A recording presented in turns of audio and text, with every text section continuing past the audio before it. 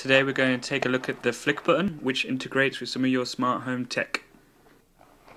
There is a message on the back of the box which is thanking people for purchasing their button.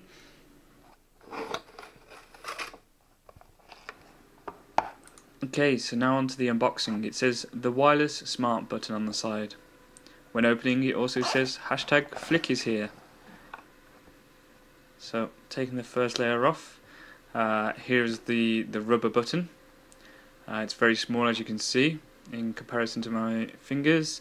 Uh, on the back is a sticky pad uh, which you can peel off the, the layer of film and then stick it on your wall or your doors or wherever else you want to stick it.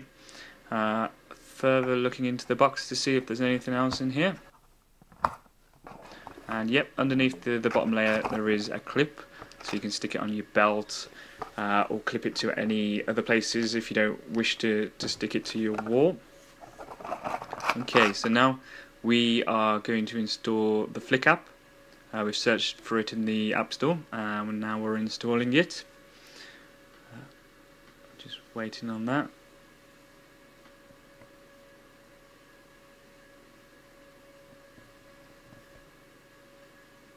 Okay, so we'll open the app. Here it is. Uh, asking for me for push notifications. Okay, and then I'll need to enter my details. To connect a button, your Bluetooth needs to be on.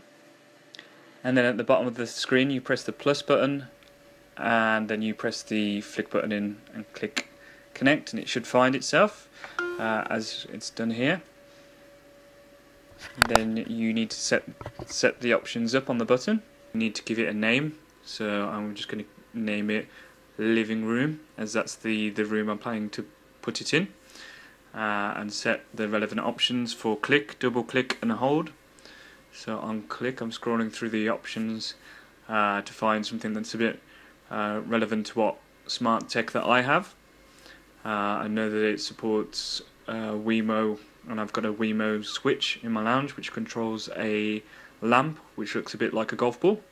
So I'm just looking for it. Ah, there it is. Just click on that and it, it says Wemo setup so it's just setting up. And then it's paired so uh, it's showing the devices which is showing my golf ball lamp.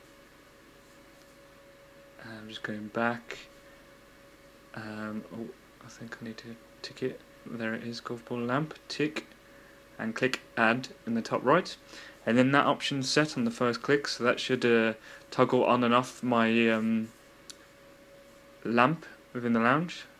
For double click now I need to set something else um, I'll just set something on the music player on the iPhone. Um, and I'll select um, some songs or artists. Um, it doesn't really matter which for testing. So I'll just scroll down uh, tick some uh, Bruno Mars. Okay.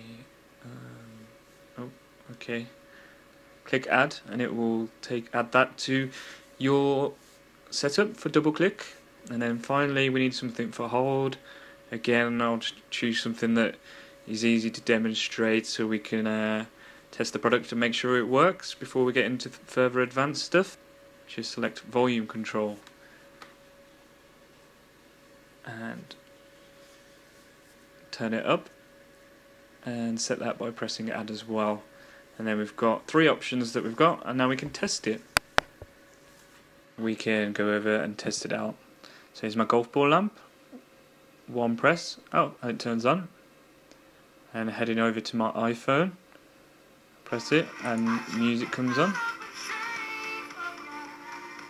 and then I'll hold it and then you should be able to hear it I'll do it a few times turning itself up step by step